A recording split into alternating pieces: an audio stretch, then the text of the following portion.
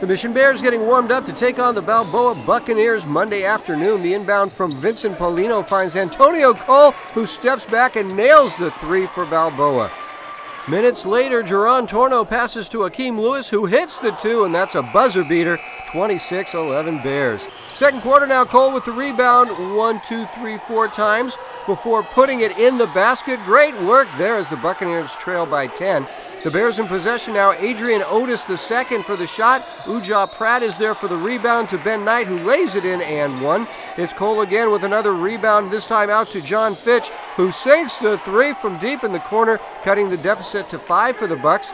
This looks like a replay, but it's not. Cole is on top of his rebounds as he finds Paulino, who drains it. It's all mission from there. Ben Knight gets the steal and takes it all the way to the rack for the bucket. The Bears on the attack here. Anthony McBride blocking the shot and connecting with Knight. And Big Ben is going to take it all the way to the basket. A little up and under lay in their 49 43 mission. Into the fourth, the Bears begin to pull away here.